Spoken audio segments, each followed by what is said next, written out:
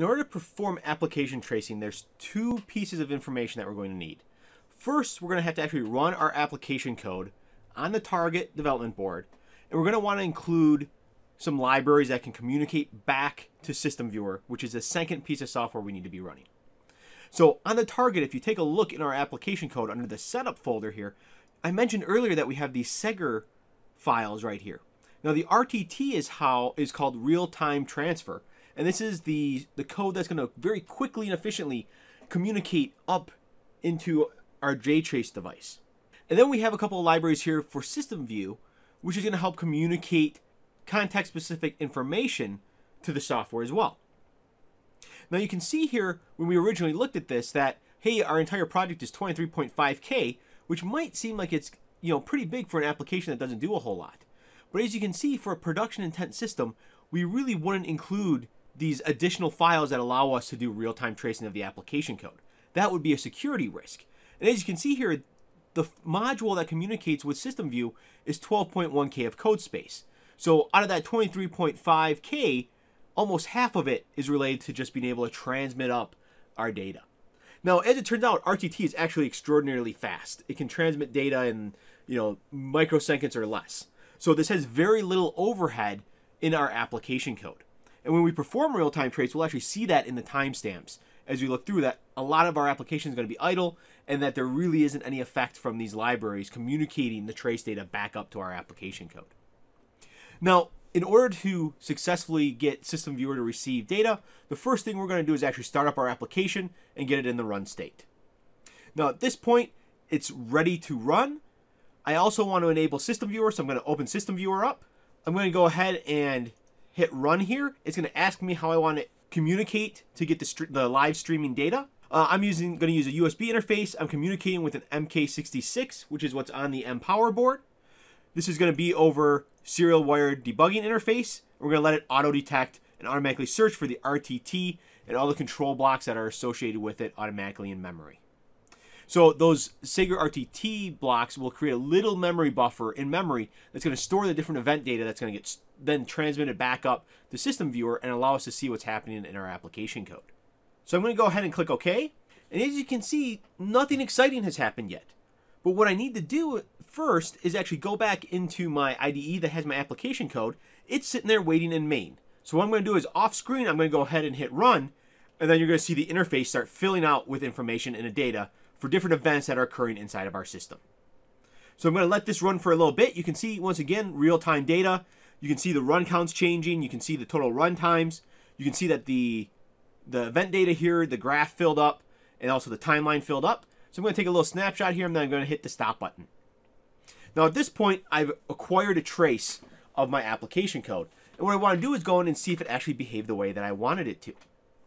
So one of the ways that I can do this is I can actually go through and I can look through the different events. And I can click on them here to see what's actually happening. You can see there's a bunch of system descriptions.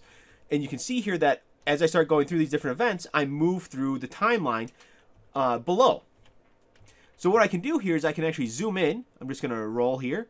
And you can see the different events that are happening here. So you can see right here as I move in, this is going to be our system tick. So we have a system tick over here on the left-hand side. You can see there's been some calculations done for us, how many times it actually ran throughout the whole application, what its frequency is, there's an ID associated with it, and also then uh, typical and minimum and maximum times that it required to execute. We can see here the how much time the actual scheduler is taking to execute. And we can see the two tasks that we created in our application, the LED gatekeeper task and the LED controller task. And then, of course, we have an idle task that runs when there are no other tasks that need to execute and the scheduler isn't running. And you can see here the order that hap- that the tasks execute. So right here we have a system take event occurs. Then we go into the scheduler for a little bit. We have the LED task then that that executes. You can see these little blocks here actually represent additional events. So the first event here is that we enter into the actual task. We then try to get the OS, uh, we make a call to OSQ get pointer condition. And then we, once we're able to do that, we, we continue executing. We then purge because we've executed our code.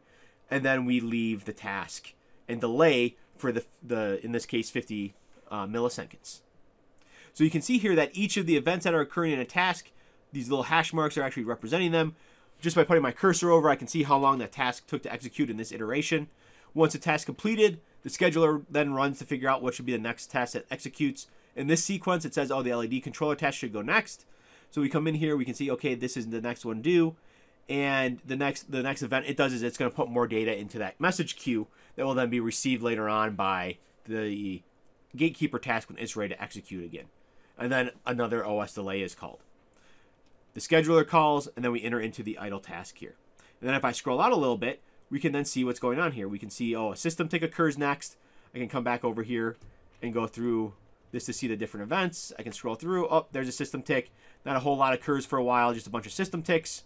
So we enter and exit the system tick for a while. Eventually, we would get back down to where we have the next tasks start executing. So you can see right here, we once again, we end up with that nice similar type of sequence. If I wanted to, I could also scroll back out and I can visually look to see if I see any strange behavior in my code that I wouldn't expect to see.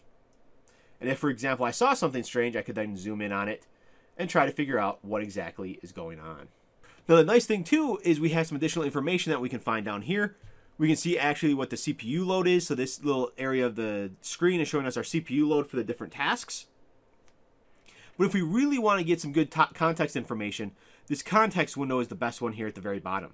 It shows all the different activities that are occurring in our system, the system tick, the scheduler, our two LED, uh, LED gatekeeper and LED controller tasks, and the idle task.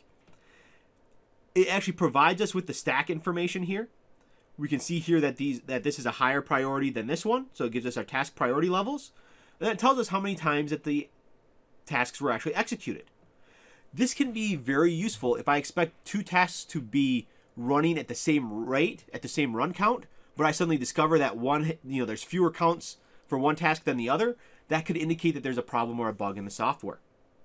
Just like the same thing with the frequency. If I'm expecting the LED gatekeeper task to execute at a faster frequency than the LED controller, then but just by looking at this, I can say, hey, you know what? Maybe there's something wrong with the actual code, or there's a bug somewhere. And visualizing these events in this manner makes it very easy to spot strange behaviors in our software. There's also then some very useful information from a real-time standpoint. A lot of times we just develop our code, we cross our fingers, and we hope for the best. We assume that we understand the timing of the different tasks throughout our system.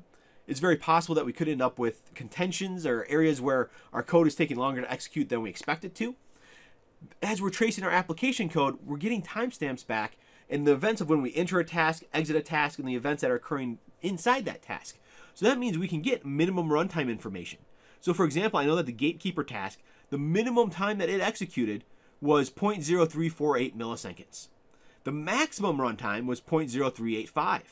If I was expecting this to always be below 0.3 as part of a requirement, I would know that I need to go in and try to adjust that task in order to meet my real-time requirements and make sure that my system remains deterministic.